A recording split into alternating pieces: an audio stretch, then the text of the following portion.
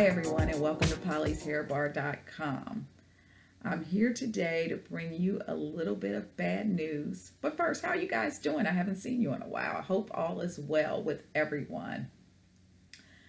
But I will not be doing Wine on Wednesday videos anymore. I know. Don't hit me up on Facebook. Don't call me on the phone. Ask me why I'm not doing these segments anymore. The reason why is because I'm going to start new segments under the name of Wine Whenever. Wine Whenever. Why should we limit ourselves to Wednesday? Life goes on every day of the week. If something happens and you feel like you need a glass of wine, go for it. I am going to need a little bit of help time to time from my viewing audience. My email address is paula at pollyshairbar.com. And what I would like for you to do, if you want to, if you feel like sharing, if you get a new car, a new home, a new life being brought into the world, if you lose your job, someone out there may be able to help you find another job. You can email me. We're going to share these, um, we're going to share the emails on Facebook Live. I'm going to let you know in advance when I'm going to go live. And we're going to celebrate everyone's success and everyone's failures. We're going to help people move along in life with information. So hopefully you will participate in that. Let's get some information out to everyone. Let's share the wealth and love that's going around out there. We need to be uplifted in these times, and I hope this is going to do it for you. I am going to be still giving you information on wine, bringing you great wines from all over. So we are still going to be drinking. Empire starts back up in March. We're going to be drinking on Wednesday nights. At least I am going to be drinking on Wednesday nights. And I will be filming any day of the week. I could be laying on the beach on Sunday drinking a bottle of wine. I'm going to share what I'm drinking. I'm going to tell you about that wine. We're still going to have the wine information going on, but I did want to add this little piece into my new segments just to lift people up. So, with that being said, I am going to kick off Wine Whenever with some FYIs. Now, I have five questions that I'm going to be asking and I'm going to be answering the five questions. This is just informational, some things you should know before you decide you want to have a drink.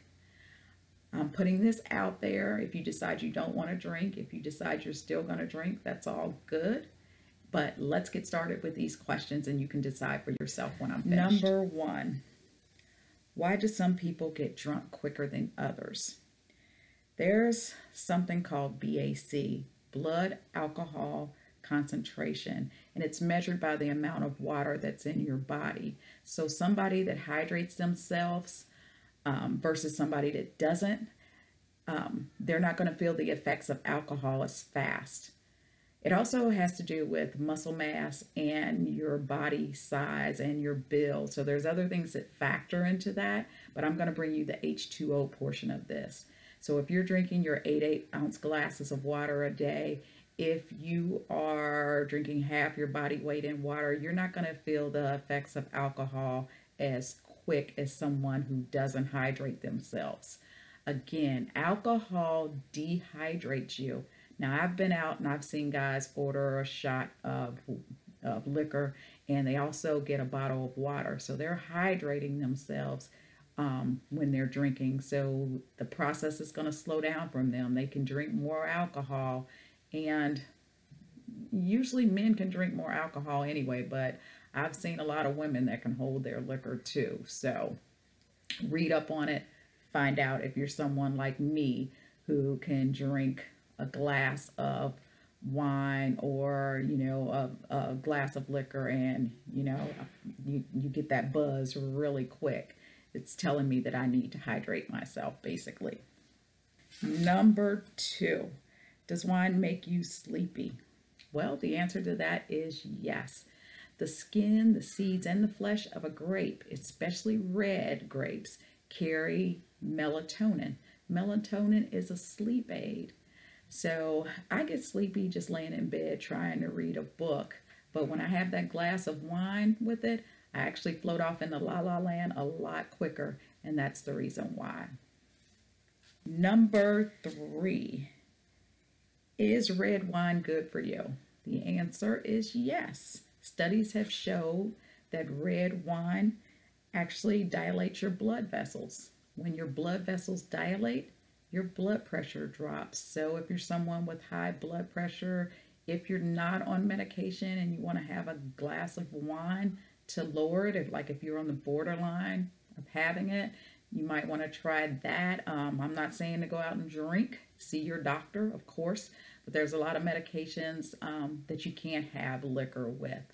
So again, I'm not telling you to go out and drink. Um, you know, do whatever you need to do to take care of your body. Now, here in California, you know, weed is legal. Now, weed lowers your blood pressure as well. So I'm not saying go out and smoke. I'm not saying that I smoke. I'm just saying weed lowers your blood pressure. Now, there's also something in red wines and it's called polyphenols. Polyphenols are antioxidants that um, actually have numerous health benefits. You can also po find polyphenols in foods that you eat and drink. Ground coffee, green tea, blackberries, blueberries, black currants, cinnamon, all these have polyphenols in them. So um, you might want to Google it and check and see what other foods um, have and what other drinks have polyphenols because that is an antioxidant. Now, in women over the age of 55, if you drink at least five units of red wine in a week, it protects your heart. And the way that you can tell if you're drinking five units, you look at your standard bottle of 750 milliliters. This is normally a 10 unit bottle. So if you drink half of this bottle in a week, it has benefits to protect your heart. And again, that's in women over the age of 55. I'm not telling you my age. I wanted to bring this up. This wine here is, you can see through it. And when I was telling you about how red wine has the polyphenols in it, the darker the wine, the more polyphenols that are in that. This wine here doesn't have a lot. So what you want to do is get you a full-bodied um, dark red wine and that's going to carry more of your polyphenols in it. Number four, is alcohol a carcinogen? Now, a carcinogen is a substance that's capable of causing cancer in living tissue, just like tobacco and tobacco smoke. Yes, alcohol is a carcinogen, but you have to consume a lot of liquor over a long period of time in order for that to take effect. So if you're something, if this is something that concerns you, see your doctor, um, Google some more information, make yourself knowledgeable in this area. If have you ever heard and your friends say, I don't drink wine, um, it gives me a headache? Well, there's a reason for that, especially if you're drinking red wine. And that is because there is a concentration, a higher concentration of these things called congeners. Now, congeners um, is a byproduct of the fermentation process that goes on in wine, but it also is in dark liquor. So basically, if you drink brandy, bourbon, whiskey, any dark liquor, or if you drink red wine, you're going to find more of these toxins in that.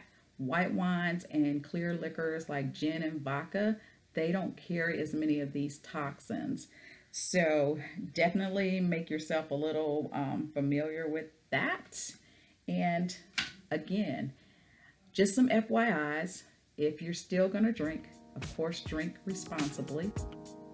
Have a great rest of your day. Bye-bye.